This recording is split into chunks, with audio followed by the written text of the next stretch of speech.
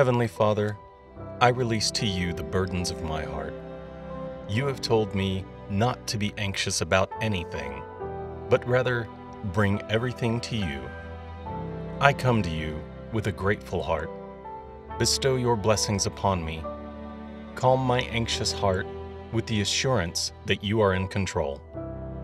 This day, Father, I acknowledge that the battles in my life are not against what I see, but against what is unseen. You are a good God. You are able to open doors that leave us surprised at how they opened. Genesis chapter 50, verse 20 says that as for you, you meant evil against me, but God meant it for good, to bring it about that many people should be kept alive as they are today. Father Lord, you paved the way for freedom for Joseph.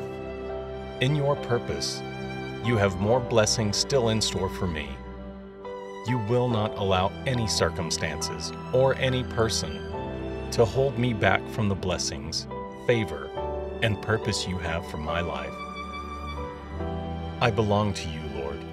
You are able to turn the toughest, darkest times around for good.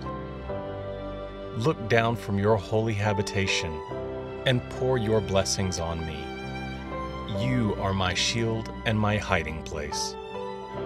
Help me to turn from all sin that entangles me and walk in the righteousness that you have provided. Let my feet be fitted with the gospel of peace. In all things, I choose to put on Christ this day and take my stand. May I be ready, alert, and faithful in prayer to receive your blessings.